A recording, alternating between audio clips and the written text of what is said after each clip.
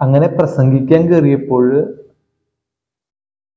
Mic howl ചെയ്തതിന്റെ പ്രത്യേകമായിട്ട് കേസെടുക്കേണ്ടതായിട്ട് വന്ന കേരളത്തിലെ ഒരു അപൂർവ സാഹചര്യത്തെയാണ് നമ്മൾ സാക്ഷ്യം വഹിച്ച കഴിഞ്ഞ ദിവസം. ചിലപ്പോഴൊക്കെ ഈ ഹൗളിങ് ചിലപ്പോഴൊക്കെ നമുക്കും വളരെ അരാജകത്വം തോന്നാറുണ്ട്. പക്ഷെ ആദ്യമായിട്ടായിരിക്കാം കേസ് എടുക്കുക അതൊരു വ്യക്തികൾക്ക് അതീതമായിട്ട് മൈക്കിക്കും ആംപ്ലിഫയറിനും സ്പീക്കറിനും എതിരെ കേസ് എടുക്കേണ്ടതായിട്ട് വന്ന ഒരു സാഹചര്യം. ചിലപ്പോഴൊക്കെ നമ്മുടെ ജീവിതം അത്ര മാതൃകപരമല്ലാതായതുകൊണ്ടായിരിക്കാം കൊണ്ടായിരിക്കാം മറ്റുള്ളവർ ഇങ്ങനെ ഹൗൾ ചെയ്തുകൊണ്ടിരിക്കുന്നത്. ചിലപ്പോൾ നമ്മുടെ വാക്കും പ്രവൃത്തിയും ഒക്കെ ഒന്നിച്ചു പോകാത്തത് കൊണ്ടായിരിക്കാം ആ മൈക്കിയും ആംപ്ലിഫയറും സ്പീക്കറും ഒക്കെ പ്രതികരിച്ചത്. എന്തിനു പറയട്ടെ അതിപ്പോ അവസാനം പോലീസ് കസ്റ്റഡിയിൽ അതിനു മുന്നേ അറസ്റ്റ് ചെയ്തുകൊണ്ട് പോയി. വിചിത്രമായിട്ടുള്ള സംഭവം അല്ലേ?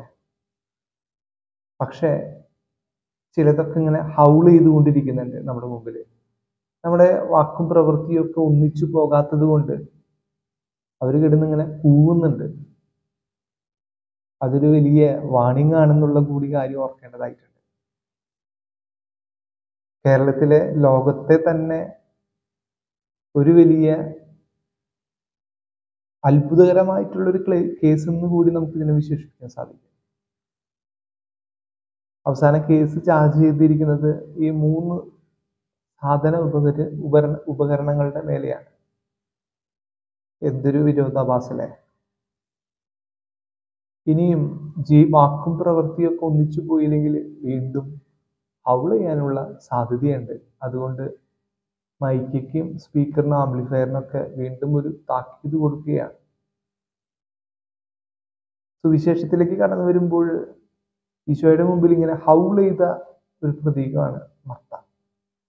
മർത്തായുടെ തിരുനാളാണിന്ന് നോക്കിയാൽ സ്വന്തം അനുജൻ മരിച്ചപ്പോൾ ഈശോയുടെ മുമ്പിൽ ഒരുപാട് നിലവിളിച്ചു. നീ ഇവിടെ ഉണ്ടായിരുന്നെങ്കിൽ എന്റെ സഹോദരൻ മരിക്കുകയില്ലായിരുന്നുള്ള ഒരു വലിയ ഓർമ്മപ്പെടുത്തൽ അപ്പോഴാണ് ഈശോ പുനരുദ്ധാനത്തെ കുറിച്ച് അവളുടെ മുമ്പിൽ ഓർമ്മിപ്പിക്കുന്നത്. പുനരുദ്ധാനത്തിൽ വിശ്വസിക്കുന്ന പ്രിയപ്പെട്ട ആ സഹോദരിയുടെ ആ വാക്കുകളിൽ ഈശോ വീണുപോകുന്നുണ്ട്. സ്വന്തം സഹോദരന് ഈശോ ഉയർപ്പ് നൽകിക്കൊണ്ടാണ് അവളെ ആശ്വസിപ്പിക്കുന്നത്. സ്നേഹമുള്ളവരെ ഈശോയുടെ മുമ്പിൽ നിനക്കും ഇങ്ങനെ ചോദിച്ചു വാങ്ങാനുള്ളൊരു സ്വാതന്ത്ര്യം ഉണ്ടാകണം. ഭർത്താക്ക് അങ്ങനെ ഒരു സ്വാതന്ത്ര്യം ഉണ്ടായിരുന്നു. ഭർത്ത മറിയം ലാസർ.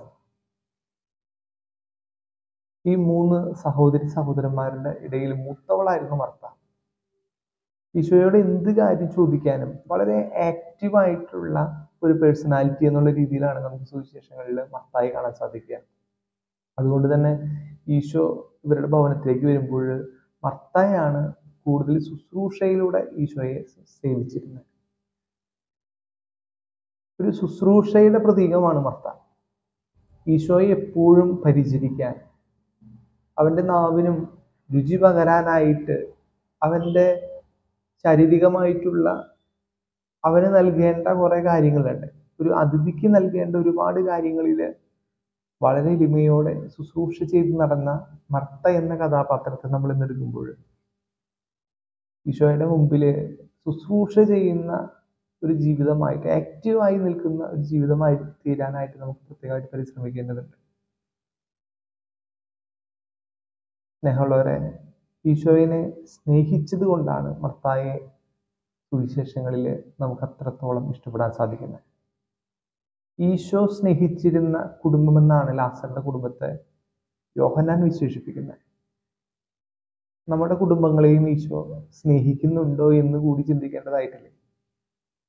നമുക്ക് എത്ര ഭാഗ്യപ്പെട്ട കുടുംബമാണ് അവരുടേത് ഈശോ സ്നേഹിച്ചിരുന്ന കുടുംബം. വചനം എങ്ങനെയാണ് വിളിക്കാൻ ആഗ്രഹിക്കുന്നത്? നമ്മുടെ കുടുംബങ്ങളിലേക്ക് ഈശോ നോക്കുകയാണെങ്കിൽ ഇഷ്ടപ്പെടാൻ എന്തുണ്ട് എന്റെ ഭവനത്തിൽ? അവൻ എന്റെ ഭവനത്തിലേക്ക് കടന്നു വരുമ്പോൾ ഞാൻ എങ്ങനെയായിരിക്കും അവനെ സ്വീകരിക്കുക?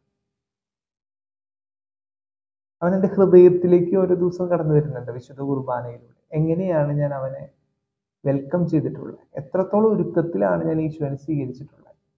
എങ്ങനെയാണ് പിന്നീട് ആ ദിവസം മുഴുവൻ ഞാൻ ചിലവഴിച്ചിട്ടുള്ളത്? ഈശോയെ നമുക്ക് ആത്മാർത്ഥമായിട്ട് സ്വീകരിക്കാം. ഈശോയുടെ പ്രിയപ്പെട്ടവരാകാം. ഈശോയ്ക്ക് ഇഷ്ടപ്പെട്ട കാര്യങ്ങൾ ചെയ്യാം. നന്മ ചെയ്യാം. മറ്റുള്ളവരെ സഹായിക്കാൻ മറ്റുള്ളവരെ സ്നേഹിക്കാൻ കാരുണ്യം കാണിക്കാനൊക്കെ സാധിക്കുമ്പോൾ നമ്മുടെ ജീവിതം ഇതുപോലെ വലിയ തുറന്ന പുസ്തകമായി മർത്തായെ പോലെ ശുശ്രൂഷ ചെയ്യുന്ന ഒരു ജീവിതമാകാൻ നമുക്കും പരിശ്രമിക്കേണ്ടതായിട്ടുണ്ട്.